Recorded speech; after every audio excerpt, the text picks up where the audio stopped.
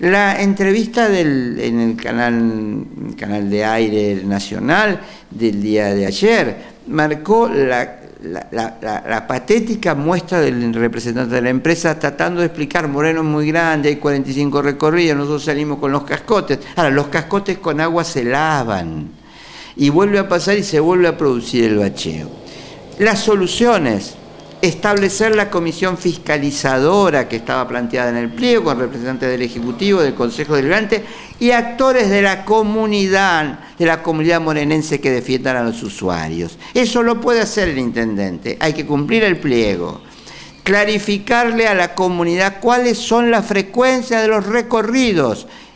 Todos vienen a la terminal de Moreno, todos conocen la terminal. Si el recorrido 31 tiene tantas frecuencias y no aparecen las frecuencias, se puede quejar. ¿Y se puede quejar a dónde? A la comisión fiscalizadora, se puede quejar a distintos miembros de la comunidad, si queremos que realmente haya control. Lo que no se pudo hacer con el pliego, por haber hecho mal el pliego, favoreciendo la concentración en una sola empresa, puede hacerse a partir de la participación de la comunidad si es que hay voluntad política. Ah, va a haber un nuevo Consejo Deliberante con la inclusión de nuevos actores. Es de esperar que estos nuevos actores piensen en la conveniencia de un buen transporte para Moreno.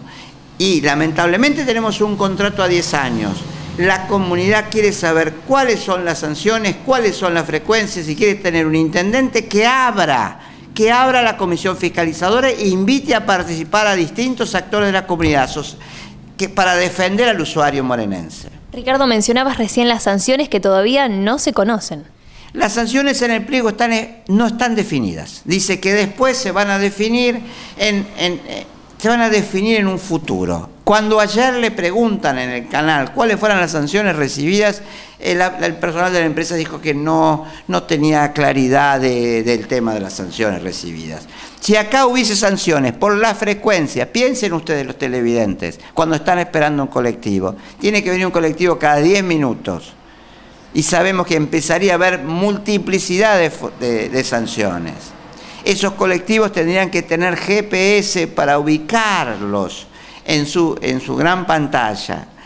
Entonces, hay un pliego que no se cumple, hay partes del pliego que no se cumplen y hay un cambio de política, hay otros actores, no, es que nosotros como, eh, como, asociación participemos en ese cambio de política, pero esperamos que, los, que el cambio de política de esos concejales defiendan a Moreno y hagan cumplir el pliego que para los que lo quieran buscar está en el boletín oficial de octubre del año pasado.